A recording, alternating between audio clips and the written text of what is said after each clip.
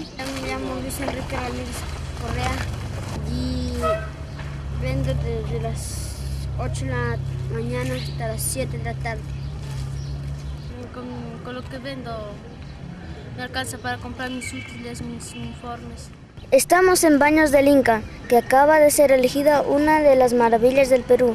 Y esta también es una oportunidad para niños y jóvenes que se esfuerzan por salir adelante y apoyar a sus padres. Yo creo que toda la gente se merece trabajar. ¿Cuántos años tienes tú? 14. ¿Y también vas al colegio? Sí, ¿Y cuándo vienes a vender? ¿A qué hora? solo sábados y domingos. Yo he sido mix. Cuéntanos cómo vendes.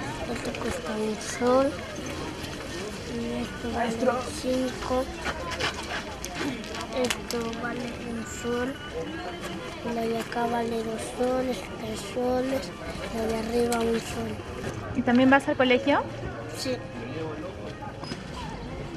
¿Y, si, y las municipalidades los apoyan aquí?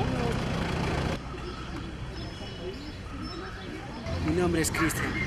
Acá trabajo desde las 7 de la mañana hasta las 7 de la noche.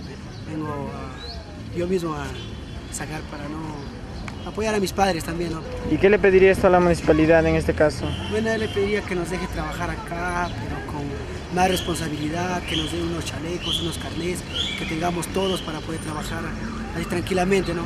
Hay niños que este es su trabajo, ¿no?